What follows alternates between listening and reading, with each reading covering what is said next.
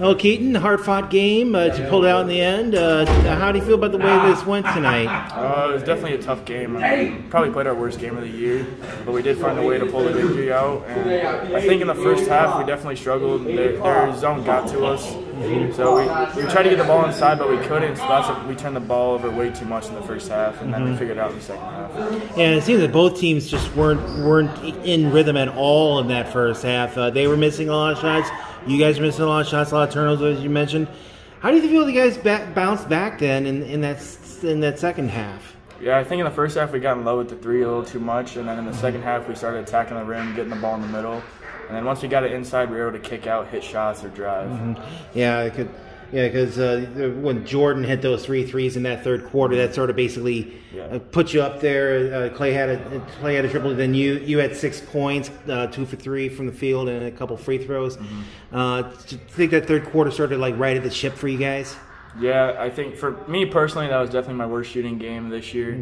Uh, I, I Three of think- I eleven, didn't- I got you down for. yeah, I didn't have a three this game, so I definitely didn't shoot it well. But I thought I thought the team stepped up pretty well. I mean, we played our worst game by far this year. But you were eight for eight from the line yourself. Uh, the team was uh, 13 out of 16 from, or sorry, 13. I'm sorry, 13 out of 14 from the free throw line. That and and basically uh, hitting your late free throws sort of sealed things up for you, as, as it is usually in, in the game of basketball. Yeah, as a team, we definitely we take pride in our free throws. During practice, at the end, every day we take free throws. We shoot ten free throws and rotate. So we definitely take pride in making our free throws because those can win and lose you games.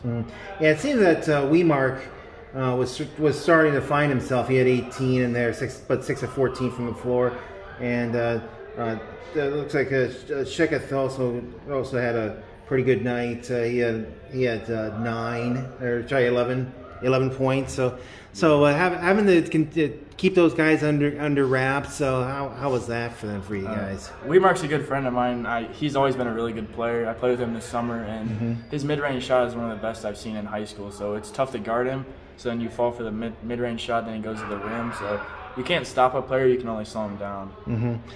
Now uh, you guys will be uh, uh, play, getting back in back, getting back into things on Tuesday. Uh, uh, so what what do you? Of course, you're going to be uh, disrupted tomorrow with with the snowstorm possibly. So, uh, but what do you want? Uh, what do you think the, you're going to be working on before you get hit the road again? So tomorrow we have practice at 9:30, trying to get it in before the snow comes, and then we'll have Saturday and Sunday off.